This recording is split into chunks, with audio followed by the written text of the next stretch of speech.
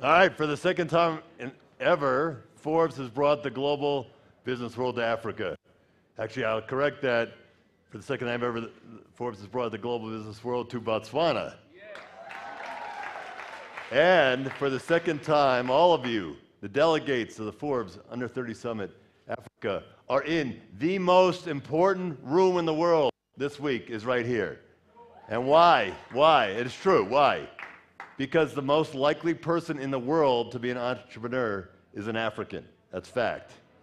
And actually, the most likely person in the world to be an, Afri- an entrepreneur is a young African because 70% of this continent is under 30. And in fact, and I've said this before, the most likely person to be an entrepreneur in the world is a young African woman because women are more likely in Africa to be entrepreneurs than men. So this is the continent of entrepreneurs. And we got 1.4 billion people. This is the greatest growth market in the world. This is the continent that needs to create the most jobs globally. This is the largest free trade zone. This is the place with the most adaptive leapfrog technology. It's the birthplace of humanity. So if you want to know why this is the most important room in the world this week, it boils down to this. If Africa su- succeeds, the 21st century will be the greatest in human history. And Africa, if Africa doesn't succeed, we're all in trouble no matter where we're from, and we have 50 countries out here represented out of the thousand of you. It boils down to that, so it boils down to all of you. Now, if you want, so I want to be optimistic. So if you want hope, I want to show a face that, you know, that gives me hope. Now, I love meeting everybody here. It can be overwhelming to remember everybody's name, but it's amazing to meet everybody. But as anybody who was here last year can attest, you could not forget, forget Chris Kazadi. Let's see. He had to be the most popular delegate last year, friendly, positive. He was an amazing entrepreneur. He immigrated from DRC to South Africa and he built up something called Click Media, which had just won an award as the best digital, meet, market, digital marketing company in all of Africa. So he came last year, but a week after the summit, he was, he was murdered uh, in DRC.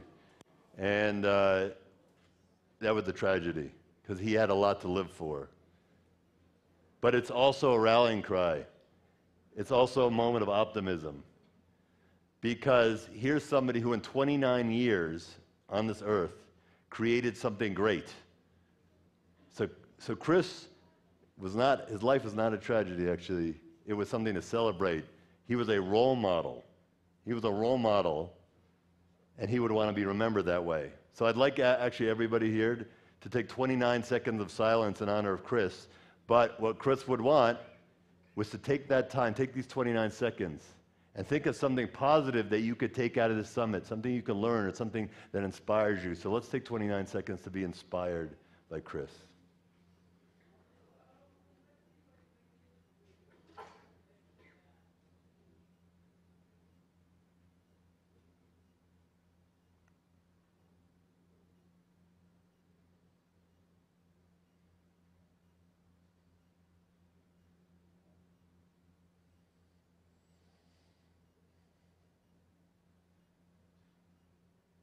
Thank you.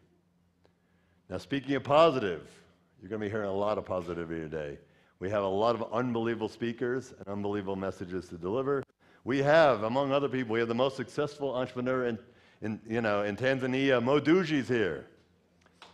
We, we have the most successful entrepreneur in Kenya, Julius Mwale's here. We have creators. We have government ministers. We have superstar athletes. We have venture capitalists.